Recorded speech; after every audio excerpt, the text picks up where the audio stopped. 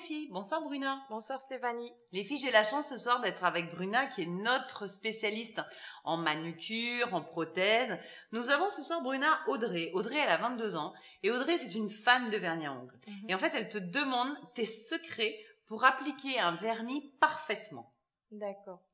Alors, ce que je conseillerais à Audrey, ça serait d'abord de mettre euh, bah, déjà une bonne préparation de l'ongle. Pousser d'abord les cuticules. Alors ensuite, il va falloir enlever euh, à l'aide d'un dissolvant tous les petits dépôts euh, autour de l'ongle. Sur l'ongle. Pour bien, bien nettoyer l'intégralité de l'ongle avant de mettre le vernis. Exactement. Le mieux, ça serait d'utiliser une base. Une base d'abord pour protéger votre ongle des, des pigments du vernis déjà pour pas que ça va pour pas que ça jaunisse l'ongle. Bien sûr, tout à fait. Alors ensuite, appliquer le vernis en deux couches de préférence, tout en laissant quand même un temps de séchage. Et puis, euh, si vous avez dépassé, il n'y a pas de souci, prenez un petit correcteur sous forme de dissolvant, et puis vous enlevez le, le petit surplus autour. Et pour terminer, une pose de top coat, donc de préférence un top coat euh, à séchage rapide, qui va aider à faire ressortir les couleurs et euh, à faire tenir le vernis.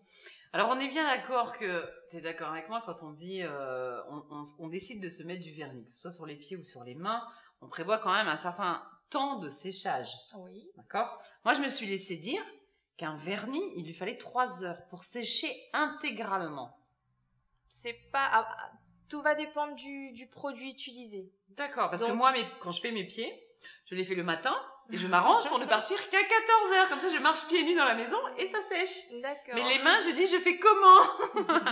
Donc du coup, si tu as un petit truc à nous donner, c'est le bienvenu. D'accord. Non, bah, le mieux, c'est voilà d'utiliser un vernis qui déjà lui-même sèche rapidement. D'accord. Et d'utiliser en plus un top coat qui va permettre euh, d'accélérer le séchage. le séchage. Et de protéger le vernis. Aussi. Du coup. Voilà. Oh là là. Alors les filles, si vous mettez pas de top coat, à partir de ce soir, sur les conseils de Bruna, top coat obligatoire. C'est ça. Merci beaucoup Bruna pour ces informations. Merci à vous. Les filles, n'hésitez pas à nous envoyer vos questions sur www.secretdefilles.tv et bien évidemment notre page fan. Je vous souhaite une très bonne soirée et un bon appétit. À demain. Au revoir.